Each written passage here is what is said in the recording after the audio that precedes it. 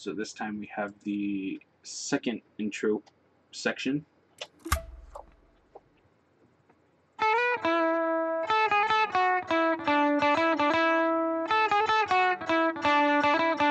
Sometimes it's good to play the part before it so that you know where your fingers are going to be.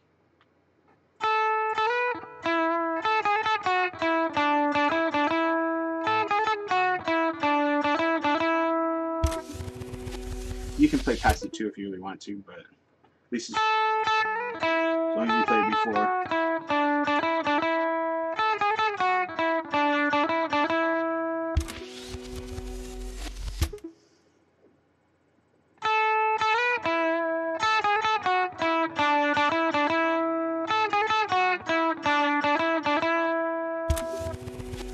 So one more time.